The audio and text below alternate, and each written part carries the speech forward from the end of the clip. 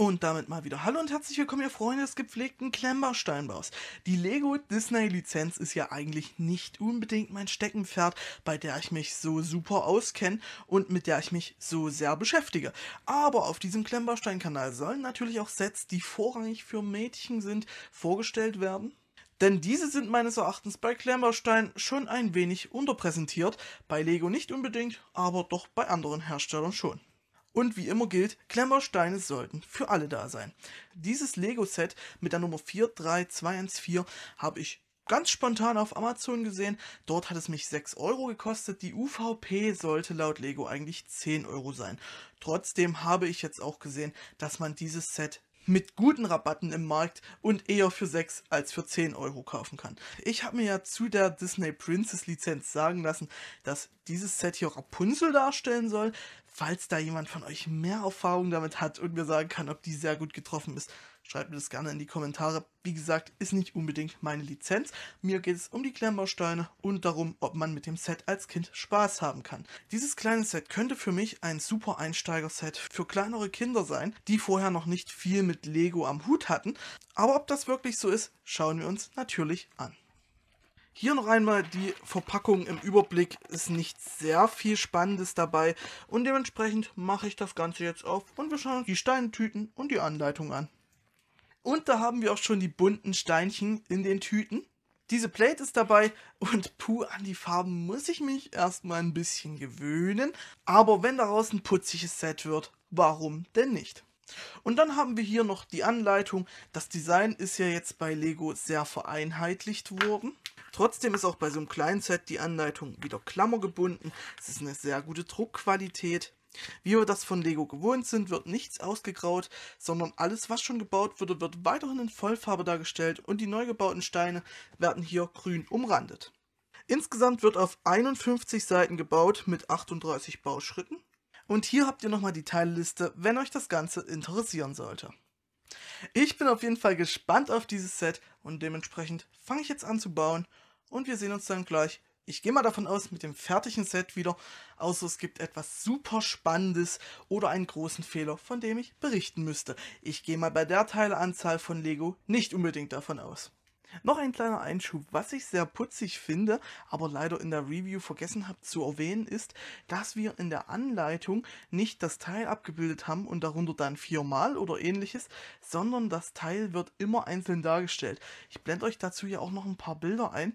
Da ist es dann wirklich so, dass eben so eine 1x2er Plate zweimal abgebildet wird, wenn man sie braucht. Das ist natürlich für so ein Einsteigerset eine interessante Sache, damit man wirklich nach dem Bild dann die Teile raussuchen kann. Und fertig ist auch schon unsere drehende Rapunzel. Das hört sich irgendwie ein bisschen falsch an, aber keine Angst, die dreht sich nicht, weil sie ein bisschen zu viel Hopfensaft getrunken hat, sondern das ist eben die Funktion des Sets. Der Bau war natürlich super, super einfach. So gehört sich das auch in einem Set, das eben ganz klar für Kinder gemacht wurde. Erst bauen wir hier so ein bisschen die Umrandungen von der Box, dann drin die Funktion. Die Funktion wird dann mit diesen azurblaufarbenen Teilen realisiert und eben mit diesem Herzschlüssel. Der Herzschlüssel kann in die Achsaufnahmen reingesteckt werden und damit kann man diese runden Plates mit Achsaufnahme dazu bringen, dass sie sich drehen.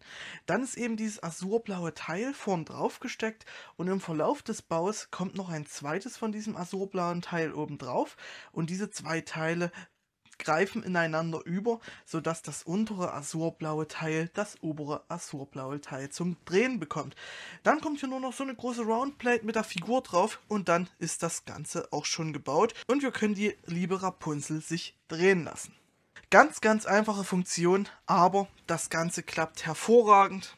Die kann man sehr gut drehen, wir haben keinen Widerstand und damit haben wir doch zumindest ein gewisses Spielfeature in dem kleinen Set drin. Mehr kann man in dieser Preisklasse und Teileanzahl irgendwo nicht erwarten. Ich finde, das Ganze sieht auch wirklich putzig am Ende aus. Und wenn ihr euch fragt, warum ist denn das hier hinten offen, dann glaube ich, dass es mit diesem kleinen Freund hier zusammenhängt. Der liegt auch noch bei, hat für mich ein bisschen was von einem Pokémon, obwohl es natürlich nicht aus diesem Franchise kommt. Aber auf jeden Fall können wir diesen niedlichen Kollegen nicht irgendwo hier aufnoppen. Dafür reichen die Noppen nicht, die wir hier drauf haben. Also habe ich mir gedacht, können wir ihn ja hinten in das Häuschen setzen. Dort kann man ihn zwar auch nicht aufnoppen, weil es gefliest ist, aber dort ist er gut aufgeräumt und kommt nicht irgendwo weg und wird verloren. Die Formteile zum Kleid und zu diesem Schirm finde ich sehr schön. Das ist so ein halbtransparentes lilanes Glitzerteil. Also das passt ziemlich gut zu so einem Set. Bei der Teilequalität gab es hier überhaupt keine Probleme. Die sehen gut aus, die Klemmkraft ist spitze. Das hält alles am Ende sehr gut, aber die Klemmkraft ist eben auch nicht so hoch, dass es ein Kind nicht schaffen würde. Dann haben wir noch so ein paar Steinchen übrig. Zweimal eben diese Blume, wie sie auch Rapunzel hinten ins Haar gesteckt bekommt. Und so eine 1x1 Surround Plate. Und dann gibt es noch eine Funktion, die auch auf der Packung gezeigt wird, die ich aber nicht hundertprozentig verstehe. Wir können die Rapunzel hier wegnehmen, können dann den Figurenkörper vom Kleid trennen und nehmen dann den Figurenkörper und stecken den Schirm hier so drauf. Und dann ist das Ganze verstaut. Was das für einen Sinn haben soll, ich kann es euch ehrlich gesagt nicht erklären. Ich sehe ihn selbst nicht.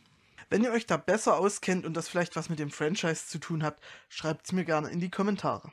Ansonsten ist das wirklich ein kleines, putziges Set mit einer sehr einfachen Funktion, die aber dafür eben auch tadellos tut, was sie soll und damit zumindest einen gewissen kleinen Spielwert bietet. Es ist natürlich nichts Bahnbrechendes, aber gerade als Einstieg in die Klemmbausteinwelt und um abzutasten, ist das überhaupt was für mein Kind?